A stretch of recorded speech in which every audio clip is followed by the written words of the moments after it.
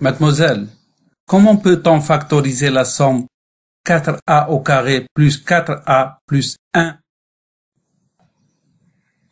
En fait, pour écrire cette somme sous la forme d'un produit ou d'un carré, on utilise cette identité remarquable dans ce sens-là. Il faut tout d'abord repérer le nombre qui représente le A et le nombre qui représente le B. Ici, on a 4A au carré, le A seul qui est au carré. Pour identifier le premier membre de l'identité, on doit avoir une expression qui représente un carré, car ici, on a A au carré. Donc, dans notre cas, on peut écrire 4A au carré de cette manière-là. 2 au carré fois A au carré. Donc, 4A au carré égale 2 au carré fois A au carré égale 2A le tout au carré. Mademoiselle, pourquoi 2 au carré fois A au carré est égal à 2A le tout au carré? On sait que le produit de deux puissances de même exposant est la puissance de même exposant du produit des deux nombres.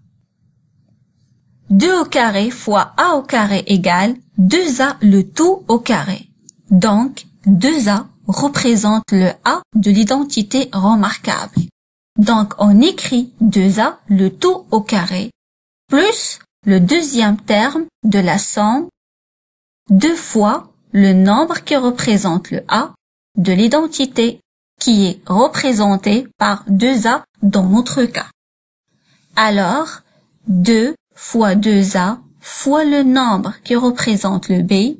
Ici, on a 1. Ça fait 1 au carré. Donc, le B ne peut être que 1.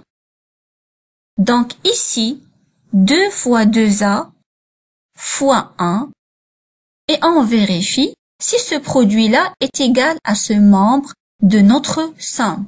On a 2 fois 2A fois 1, c'est 4A. Alors, ça coïncide bien avec ce membre, donc on a une somme remarquable dont le nombre qui représente le A de l'identité remarquable, c'est 2A, et le nombre qui représente le B de l'identité remarquable, c'est 1. Donc, on écrit entre parenthèses au carré et on remplace ici le 2A et ici le 1. Donc, 4a au carré plus 4a plus 1 égale 2a plus 1 le tout au carré. 4a au carré plus 4a plus 1 égale 2a plus 1 le tout au carré. Bien. C'est bien expliqué, mademoiselle.